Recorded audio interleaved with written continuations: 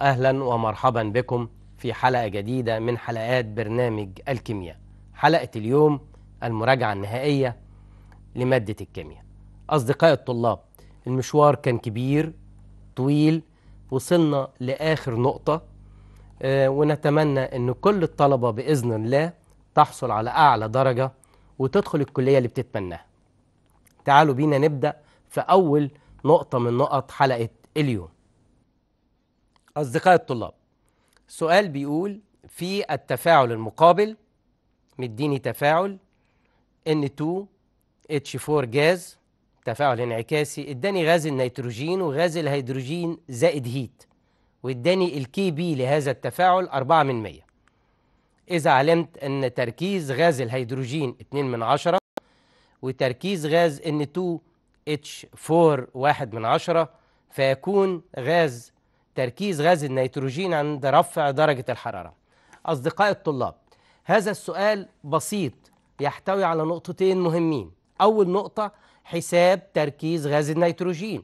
النقطة الثانية رفع درجة الحرارة. إحنا اتفقنا إن في هذا التفاعل هيت مع النواتج. يبقى تفاعل طارد للحرارة.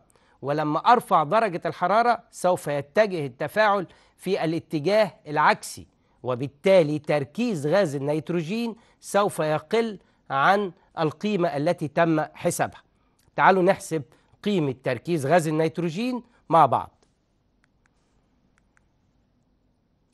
هو هنا مديني الاختيار الأولاني 8 من 100 الاختيار الثاني 2 من 10 الاختيار الثالث 3 من 10 الاختيار الرابع 1 من 10 هنقول إن ال Kp بيساوي تركيز النواتج على تركيز المتفاعلات ومنه نحصل على تركيز غاز النيتروجين يطلع واحد من عشرة.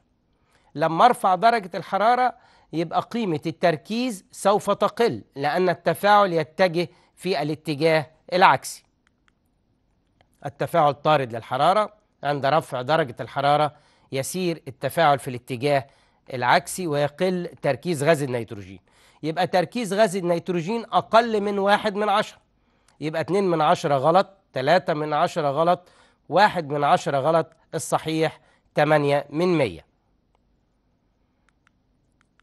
سؤال في خلية عينة من الكروم تحتوي على شوائب X و Y لوحظ ترسب X و Y في قاع الإناء بعد إتمام عملية التنقية. عند وضع العنصر Y في محلول العنصر X يتغير لون المحلول فإن الترتيب الصحيح لجهود أكسدة ال X وال Y والكروم الأول هو بيقول إنه خلية هننقي فيها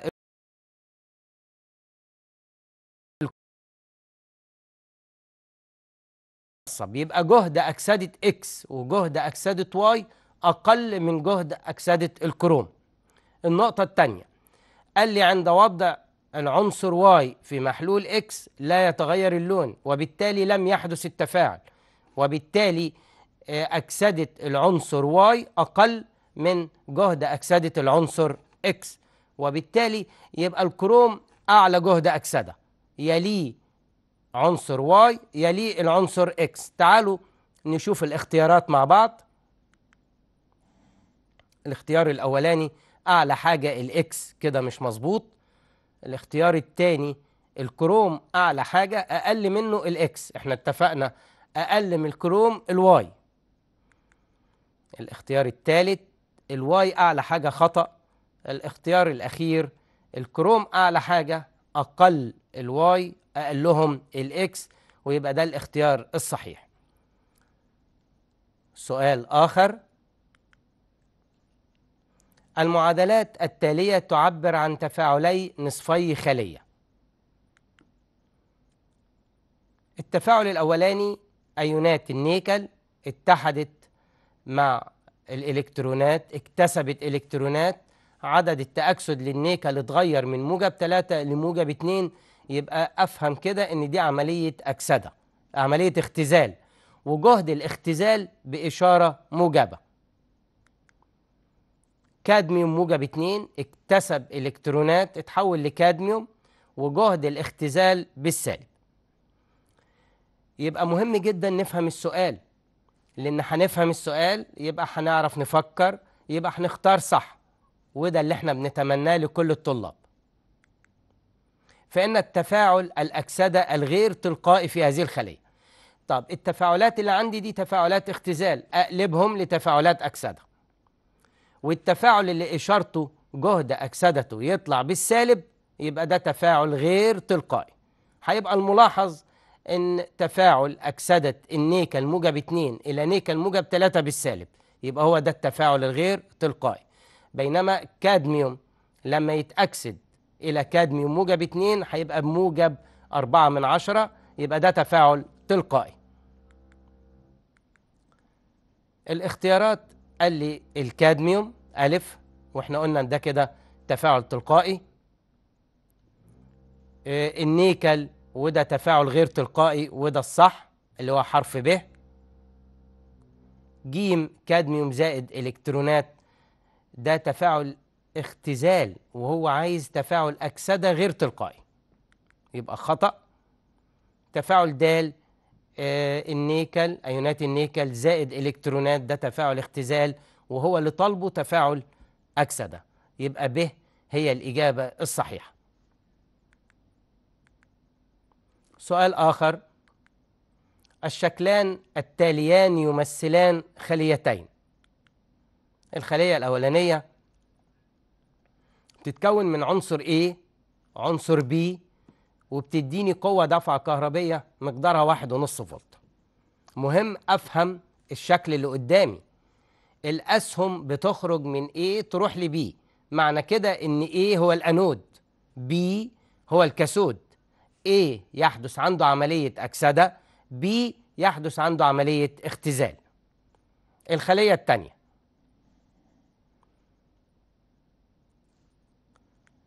عبارة عن سي و B وتتحرك الإلكترونات من ال C إلى ال B وتديني قوة دفع كهربية مقدارها 2 فولت.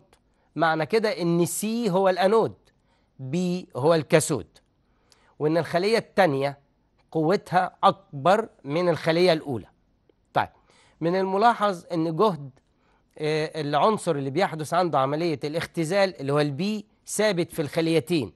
يبقى اللي بيغير القوى الدفع الكهربية هو عنصر الأنود اللي هو ال A أو ال C وبالتالي نقدر نستنتج إن جهد أكسدة C أعلى من جهد أكسدة A لأن الخلية الثانية بتدي 2 فولت بينما الخلية الأولى بتدي واحد ونص فولت. قال لي إذا علمت إن كلا العنصر A و B ثنائي التكافؤ وسي ثلاثي. فإن الرمز الاصطلاحي للخلية الجلفانية المكونة من العنصر A و C. إحنا اتفقنا إن جهد أكسدة C أعلى من جهد أكسدة A يبقى C هو الأنود يحدث عنده عملية الأكسدة و A هيبقى الكاثود ويحدث عنده عملية الاختزال. ونخلي بالي أصدقاء الطلاب إنه C هيديني ثلاث إلكترونات بينما A هيكتسب اتنين إلكترون لأن هو قال لي إن A ثنائي وسي ثلاثي يبقى لازم أنا وبكتب الرمز الاصطلاحي أخلي بالي من الوزن عشان عدد الإلكترونات المفقودة في عملية الأكسدة يساوي تماما عدد الإلكترونات المكتسبة في عملية الاختزال. نبص على الاختيارات مع بعض. ألف C بقت C موجب 3 و A موجب 2 بقت A. دي كده موزونة من حيث عدد الإلكترونات المفقودة في عملية الأكسدة وعدد الإلكترونات المكتسبة في عملية الاختزال. و C هو الأنود و A هو الكاثود حرف ب A C طبعا هو هنا عكس مش مظبوط. آه معكوسة. وقال إن C ثنائي التكافؤ مش ثلاثي. و A ثلاثي التكافؤ مش زي ما قال ثنائي. آه، C ثنائي التكافؤ برضو و A ثلاثي. يبقى هنا عيني لازم تبقى لماحة. لما يقول لي ثنائي التكافؤ يبقى موجب اتنين. لما يقول ثلاثي التكافؤ يبقى موجب تلاتة. يبقى الإجابة الصحيحة هي رقم ألف.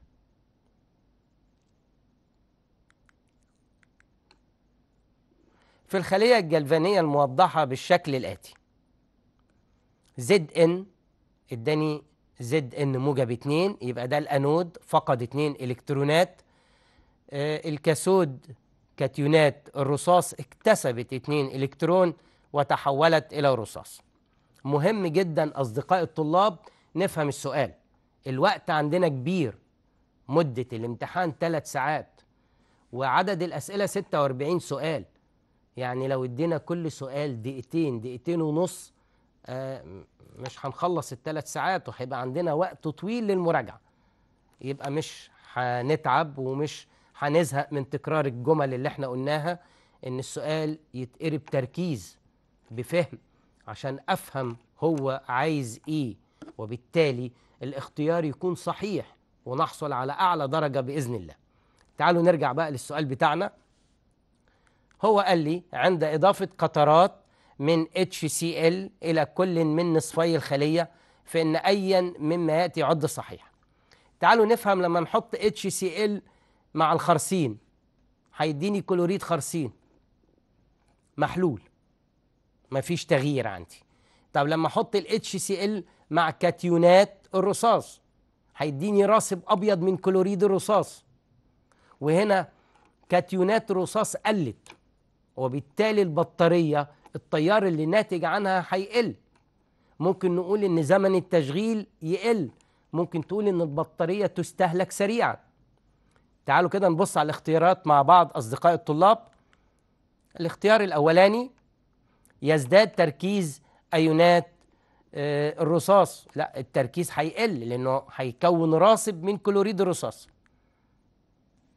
تزداد قيمة اي ام اف اي ام اف بيعتمد على جهد أكسدة الأنود وجهد أكسدة الكاثود ماليش دخل بالاتش سي ال خالص. يقل زمن استهلاك البطارية. كده صحيح لأن كاتيونات الرصاص اترسبت وبالتالي البطارية تستهلك سريعا. زمنها يقل. الاختيار الأخير يقل تركيز الزد ان الزد ان مش هيتأثر. يبقى الإجابة الصحيحة هي رقم ج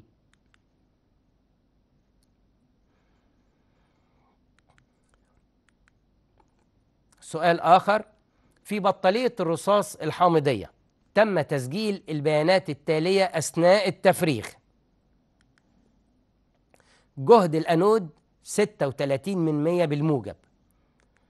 جهد الكاثود 1.69 بالموجب. قراءة الهيدروميتر واحد جرام سنتيمتر تكعيب فإن تلك البطارية. أصدقاء الطلاب أنا هنا قبل ما ندخل على الاختيارات عايز أسأل سؤال صغير. إيه وظيفة الهيدروميتر في البطارية؟ الهيدروميتر جهاز لقياس كثافة حمض الكبريتيك. كثافة حمض الكبريتيك لازم تبقى في حدود واحد تمانية وعشرين من مية إلى واحد وتلاتة من عشرة. طب هو هنا في السؤال بتاعنا قال لي إن الكثافة واحد معنى كده إن البطارية كثافة الحمض فيها قليلة معنى كده إن البطارية دي تحتاج إلى إعادة شحن. طب النقطة الثانية هو قال لي جهد أكسدة الأنود وقال لي جهد اختزال الكاثود أقدر أجيب القوة الدافعة للخلية. تمام. تعالوا نبص على الاختيارات كده مع بعض أصدقاء الطلاب. كاملة الشحن والبطارية تعطي 12 فولت. طبعا آه إحنا قلنا البطارية تحتاج إلى إعادة شحن. تحتاج إلى إعادة شحن والبطارية تنتج 2 وخمسة من 100 بعد الشحن. أصدقاء الطلاب لازم نفرق ما بين كلمة بطارية وكلمة خلية. البطارية تتكون من عدة خلايا. بينما الخلية تتكون من أنود كاثود إلكتروليت. وبطارية المركم الرصاصي يبقى تتكون من ست خلايا. كل خلية بتدي 2 فولت يبقى البطارية كلها تدي 12 فولت. نكمل الاختيار الثالث أصدقائي. كاملة الشحن والخلية تعطي 12 فولت.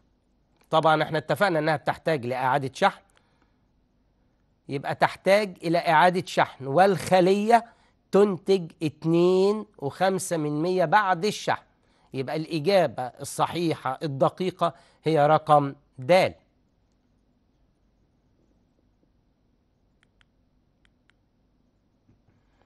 جهد الاختزال القياسية للعناصر X و Y و Z كما في الجدول التالي.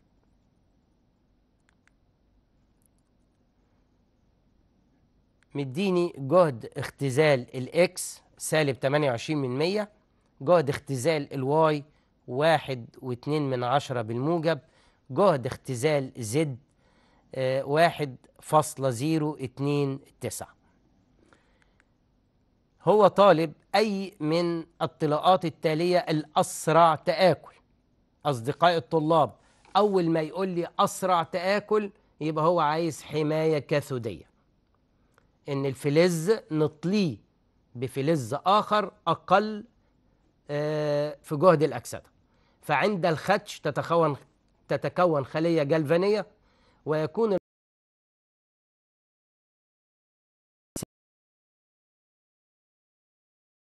سريعا.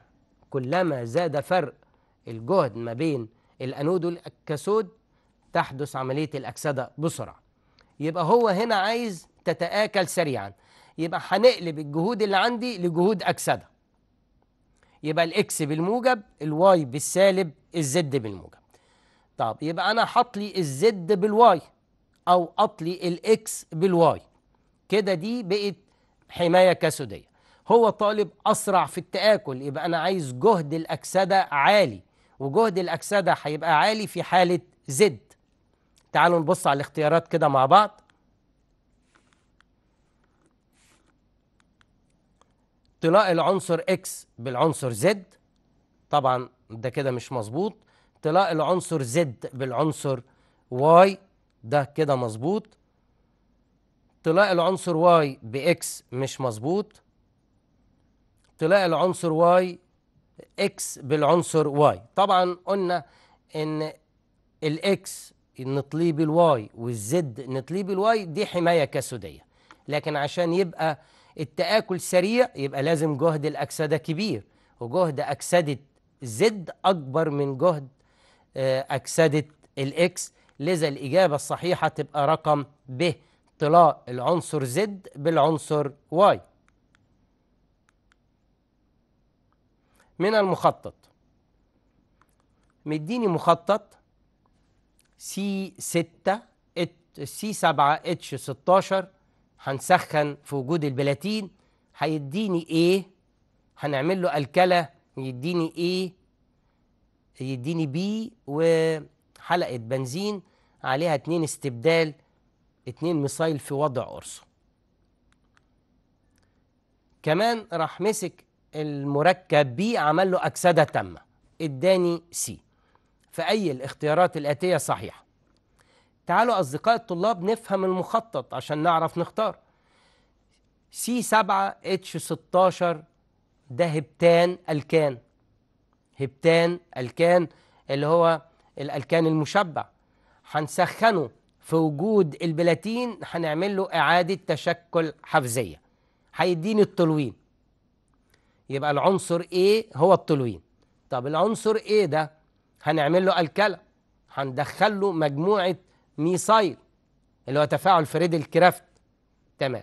لما تيجي تدخل مجموعة الميثايل هنسأل التولوين المجموعة الأساسية اللي عنده اللي هي برضه ميثايل بتوجه لوضع أورثو وبارا هو الناتج عندي B أنا لسه هنتكلم عنه. الناتج الأساسي عندي اداني حلقة بنزين عليها اتنين استبدال في وضع أورثو. يبقى B حلقة بنزين عليها اتنين استبدال ولكن في وضع بارا طب C H 3 لما نيجي نعمل لها أكسدة هتتحول من C H 3 إلى مجموعة كربوكسيل يبقى بالتالي المركب C هو مركب حمضي ثنائي القاعدية. مركب حمضي كربوكسيلي يحتوي على مجموعتي كربوكسيل في وضع بارا تعالوا نبص على الاختيارات مع بعض.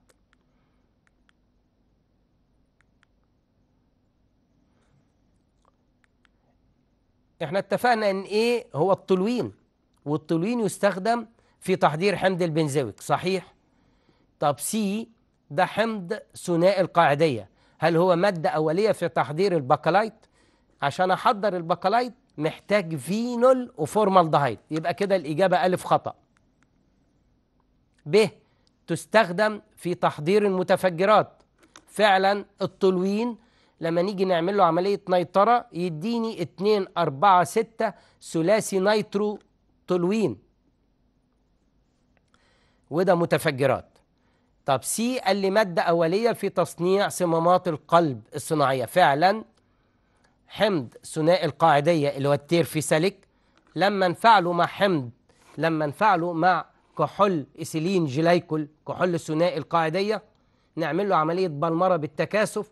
في النهاية يديني نسيج الداكرون يبقى A متفجرات كده صح و C بيدخل في صناعة آه، صمامات القلب الصناعية.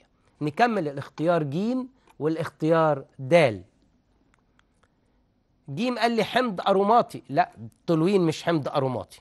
مادة أولية في تحضير نسيج الباكلايت. كده دي النقطة دي صح بس كده يبقى جيم كلها غلط. دال هيدروكربون أليفاتي خطأ ده هيدروكربون أروماتي. حمض كربوكسيلي أروماتي لا هو حمض كربوكسيلي أروماتي ثنائي القاعدية. يبقى الإجابة الدقيقة الصحيحة هي رقم ب.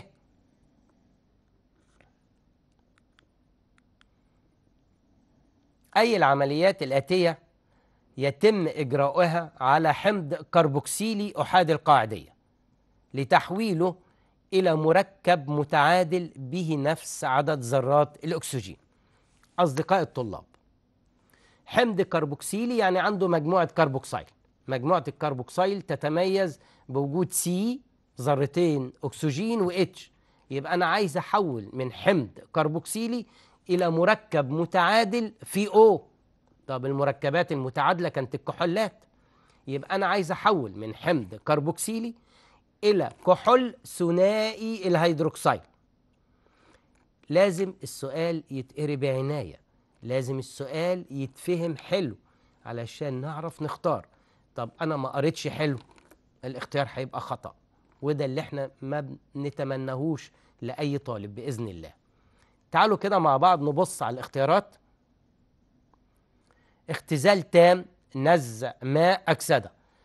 طيب ال- الحمض الكربوكسيلي لما اعمل له اختزال تام يبقى أنا كده حولته لكحول احادي الهيدروكسيد هعمل له عملية نزع. يبقى هنزع جزيء مية هحوله إلى ألكين. الألكين أعمل له عملية أكسدة اللي هو تفاعل باير ينتج كحول ثنائي الهيدروكسيد يبقى ألف صحيح.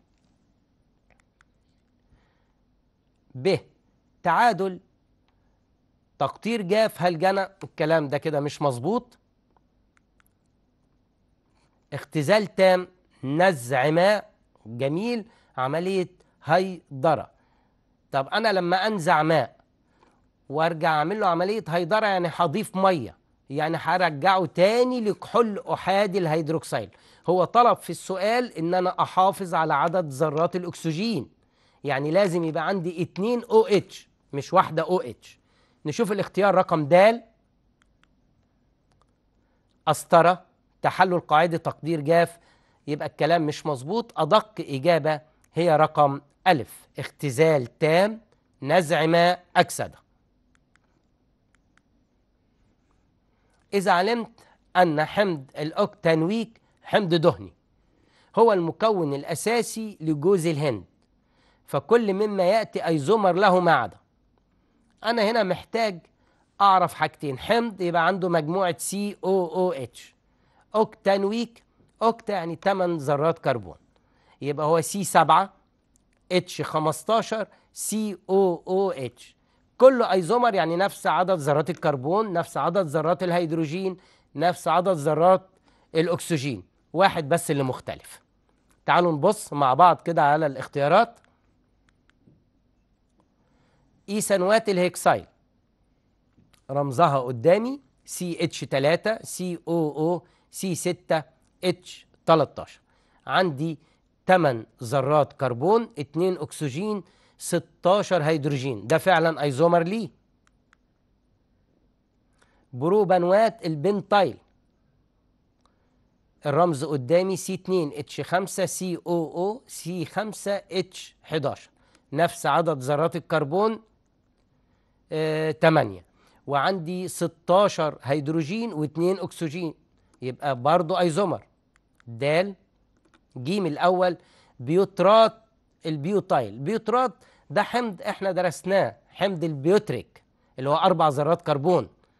البيوتايل برضو أربع ذرات كربون يبقى سي 3 اتش 7 سي أو أو سي 4 اتش 9 عدد ذرات الكربون آه 8 عدد ذرات الهيدروجين 16 آه الأكسجين 2 يبقى برضو ايزومر. د بنتانوات البيوتايل بنتانوات اللي هو خمس ذرات كربون C 4 اتش 9 سي أو أو البيوتايل سي 4 اتش 9 عدد ذرات الكربون اختلف. هنا عدد ذرات الكربون 9 وبالتالي الهيدروجين هيختلف. يبقى كله ايزومر ما عدا الاختيار رقم د وده المطلوب.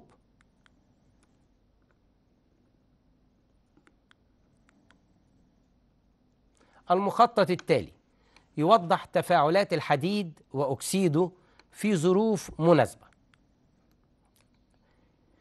الحديد هنفعله مع حمض C2H2O4 ده حمض الأوكزاليك. هيديني ملح أوكزالات حديد 2 ملح أوكزالات حديد 2 هنسخنه هيديني اكسيد حديد FeO طيب هناخد الحديد هنحط له حمض كبريتيك مخفف هيديني كبريتات حديد 2 كبريتات حديد 2 هنسخنها هيديني المركب C اللي هو أكسيد حديد 3 نفاعل اكسيد حديد 3 مع الهيدروجين في درجة حرارة 250 أنا سامع إن في طالب بيقول لي إحنا ما خدناش 250 حبيبي إحنا خدنا الاختزال. بيتم يا إما من 230 لغاية 300 أو اختزال بيتم من 400 لغاية 700 والاختزال الثالث أعلى من 700 هو هنا قال 250 وقع بين ال 230 لغاية 300 يبقى ناتج عملية اختزال أكسيد حديد 3 تديني أكسيد حديد مغناطيسي. أكسيد حديد مغناطيسي هختزله عند درجة حرارة 500 اللي هي تقع ما بين ال 400 و 700 يديني FeO يبقى أنا كده فهمت المخطط المركب ألف. أو A يبقى FeO المركب C Fe 2 O 3 المركب B اللي هو أكسيد حديد مغناطيسي Fe 3 O 4 تعالوا نبص على الاختيارات مع بعض. الاختيار الأولاني Fe 3 O 4 يبقى كده ألف غلط يبقى الاختيار كله غلط. الاختيار ب FeO وال B Fe 3 O 4 وال C Fe 2 O 3 الاختيار ده مظبوط. جيم FeO وال B Fe 2 O 3 وال C Fe 3 O 4 هو كده عكس ما بين ال B وال C الدال الاختيار A كتبوا Fe 2 O 3 كده خطأ. زي ما إحنا قلنا إن A هو FeO ال B Fe 3 O 4 ال C اف اي 2 أو 3 أصدقاء الطلاب دي مجموعة من الأسئلة آه، اللي جت في امتحانات سابقة قبل كده. والأسئلة بسيطة تحتاج من كل طالب قراية السؤال.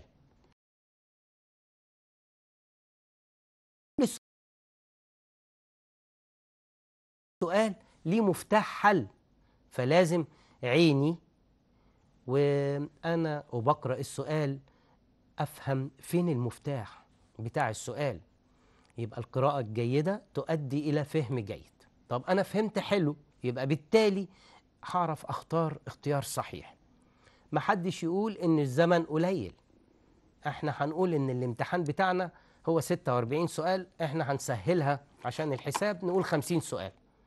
لو كل سؤال خد 3 دقايق يبقى 3 في 50 ب 150 زمن الامتحان 180 دقيقة.